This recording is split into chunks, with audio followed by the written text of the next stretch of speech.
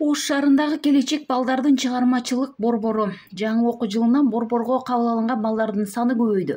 Былтыр эки миңден ашкан болсо быйыл эки миң алты жүз окуучу кабыл алынды. Мында балдардын көркөм чыгармачылыкка шыгын жана жөндөмүн өстүрүү үчүн ар түрдүү тармактар музыка бий сүрөтчүлүк тил курстары жана башка иримдер бар. Сүрөтчүлүккө кызыккан балдардын саны жыл сайын көп кабыл алынууда. Көбүнчө ошо родительдер телефондон арылсын деп алып келет. Бир эки ай окугандан кийин уже балдардын кызыгуусу аябай күчөй баштайт да.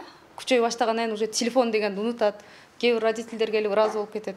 Балам телефондон кыйла эле алыс болуп кетти. Сабагың аябай кызык болуп атат деп.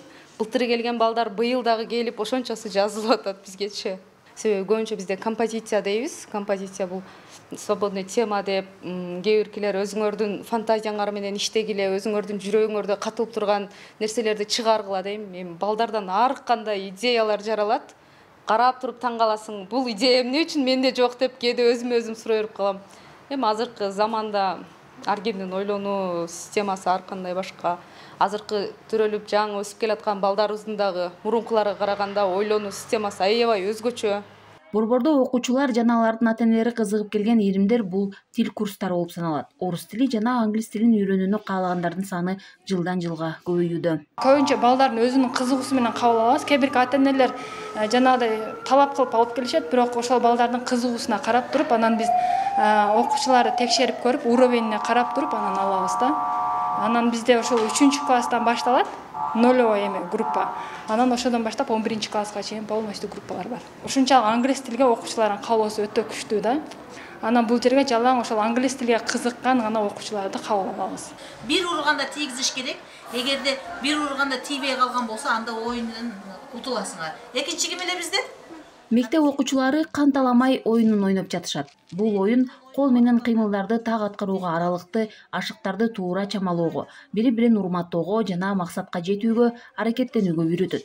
Бир жыл мурун гана түзүлгөн мурас ирими борбордо түзүлгөн алгачкылардын жана өзгөчөлүктөрдүн бири. Мында балдар кыргыз элинин каада салтын улуттук оюндарын үйрөнүшөт. Урп адаттардын тарыхын кайрадан ачып чыгып э, сонун план түзүп алдым бир жылдык. Ошонун жыйынтыгында абдан сонун ийгиликтер болду ата энелерден кайрылуулар болду балдар салттуу ырларды үйрөнүштү салттуу оюндардын түрлөрүн үйрөнүштү бул ашык эмне домпой эмне экенин билбейт экен балдар чындыгындачы бул ушул кабинеттин түзүлүшү эмнени элестетип турат ушундайды көрдүңөрбү десек ошону мындай билбеген балдар дагы болду да анан азыр болсо балдар жанагы э, боз үйгө киргенде эле оң жак кимге тиешелүү сол жак кимге тиешелүү төр кимге тиешелүү баардыгын тим эле шакылдатып сайрап айтып беришет. Анан салттуу оюндарды болсо ошо ашыкта канталамай оюнду баштадык былтыр. Анан мына азыр күн ачык болуп турат. Эркек балдар дагы катышат бизге аларды сыртка оордоо оюнун дагы ойнотом борбордо учурда эки жүздөн ашуун тайпа бар. Жыйырмага жакын иримдер ачылган. Анда кырк жети мугалим эмгектенет. Мындай чыгармачылыкты уюштуруунун мазмуну ыкмасы жана калыптары ар түрдүү. Өзгөчөлүк катары жаңы иримдер да киргизилген. Жылдан жылга каалоочу балдардын саны аябай көбөйүүдө буну мен э, көп нерсе менен байланыштыра аламыз. Мисалы үчүн бизде аябай большая текучесть кадров болду жакшы жаңы күчтүү кадрларды тандагандан кабинеттер аябай быйыл жакшы ремонттон өтүп атат. Мисалы үчүн жаңы мезгилге талапка ылайык э, инновационный жаңы иримдерди ачып атабыз. Э, мисалы үчүн былтыркы жылдын эсебинен эле бизде жаңы төрт жаңы ирим кошулду бул инновационное рисование деген ирим мурас ирими тогуз коргоол ирими анан кийин новый вид танцев современный э, жана корейский стилде азыркы жаш балдарга жага турган вид танцев ачылды.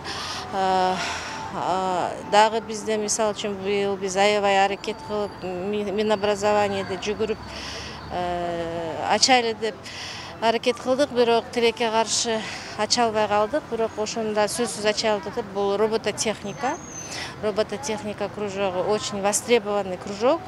Бул бир гана биздин эмес ата энелердин суроолору боюнча аябай көп суроолор түшүп атат ошону орундатсак дагы биз үчүн аябай чоң плюс болот эле.